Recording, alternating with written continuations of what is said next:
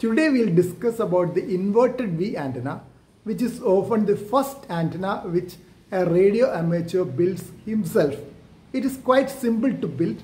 I had also built one long long back when I started coming on air using my homebrew equipment. See how it is built. The inverted V dipole antenna needs only a single mast. There's the advantage. While a horizontal dipole antenna will require two masts, this requires only a single mast. Here we have mentioned that a non-conducting mast has to be used. If you are using a conducting mast, then the mast should be grounded well. Then you need two other small supports. This will be a little away from the ground and insulators are needed. There are insulators here from the mast and this is the connection of the coaxial cable one to either side of the antenna limbs. These two are copper wires made of copper wire, thick gauge copper wire. It can be insulated copper wire or non-insulated, no problem. And it could be single stranded or double stranded or multiple stranded copper wire, no problem about that. And uh, what you have to use is the coaxial cable. If you are using a coaxial cable, you will need a balun over here because antenna, the inverted V dipole antenna is a balanced antenna. So coax is an unbalanced line. So you'll have to put a balun over here before connecting the antenna. Then uh, the insulators we have already mentioned.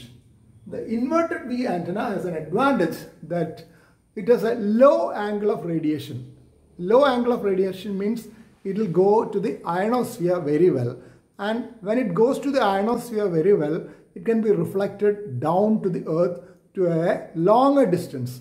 So inverted V antenna is supposed to be better for long distance propagation. That's another reason why amateurs go for that.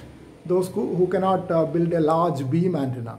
And when you have a low angle of radiation and better DX work, this is one of the best suited. Then regarding the directivity, usually the horizontal dipole, if it is a horizontal dipole like this, it will uh, the beam will go in both directions towards uh, the one side and opposite side also. Towards the end of the antenna, there will be hardly any radiation. In case of inverted V, since it is angulated, it is not uh, as directive as the horizontal dipole. There is some radiation in other direction because this is at an angulation. So it is partly an omnidirectional antenna. Though it is not fully omnidirectional like a vertical dipole, this has some omnidirectional property that also helps in working DX in different directions. If it is a horizontal dipole, it can go in these two directions only. Towards the end, there will be no radiation. But inverted V dipole, there will be some radiation all around. So it is useful for a radio amateur who does not have a facility for a beam antenna with an antenna rotator. You know, beam antennas are costly, difficult to build. Rotators are very, very costly.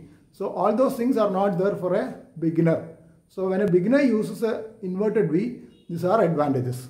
But some care is needed. For example, these two are very near the ground. Suppose somebody is going to test this antenna, it could give a RF burn, especially when the power is high. So you would like to have some protection here. That is uh, at least, uh, suppose you are installing this mast in the garden and this end is in your compound itself. You should see to it that nobody will go and test these ends. These are the some precautions which you will have to take for protection of your own people and yourself uh, when you are using an inverted V antenna. Uh, in case of horizontal antenna, dipole antenna, this is not required because both ends are quite high and nobody is going to touch it. So this is the difference between inverted V antenna and a dipole antenna. Thank you very much.